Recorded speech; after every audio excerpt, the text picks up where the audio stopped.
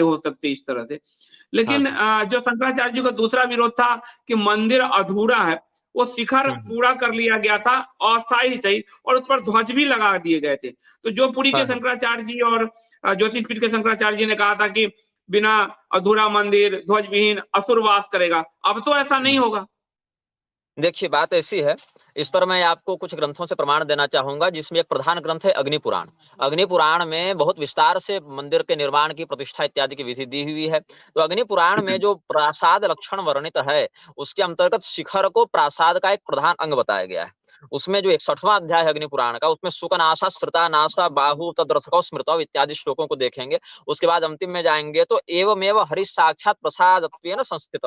भगवान नारायण ही उस संरचना के, उस प्रासाद के रूप में स्थित रहते हैं। ये नहीं सोचना चाहिए कि केवल हमने मूर्ति में प्राण की स्थापना की है।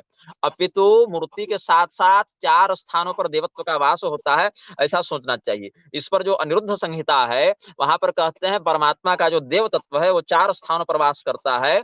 प्रासाद में वास करता है, मूर्ति में वास करता है, पीठ में वास करता है और जो गर्भगृह है उसमें वास करता है। तो प्रासादम गर्भगेहम च प्रतिमा पीठ में च शरीर में देवस्य स्थितमेव चतुष्टयम।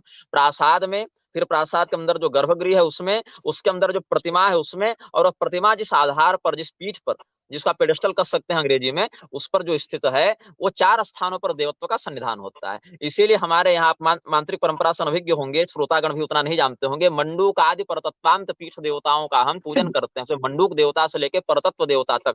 केवल आधार की प्रतिष्ठा में उतने देवता लग जाते हैं।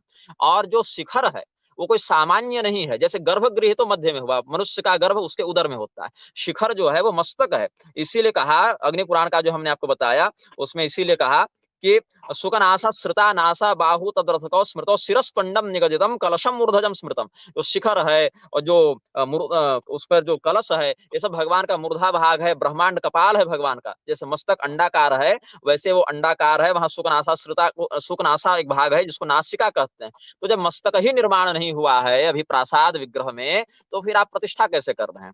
और दूसरी बात यह है कि जब शिखर नहीं है, और आपने एक अस्थायी, पहले तो ये कुतर्क किया गया, जो हिंदुत्व के अशास्त्रीय पैरोकार बने घूमते हैं, अशास्त्रीय पक्षधर बने घूमते हैं, उनके द्वारा यह कुतर्क किया गया कि शिखर की आवश्यकता ही नहीं है, शिखर के बिना भी प्रतिष्ठा की जा सकती है।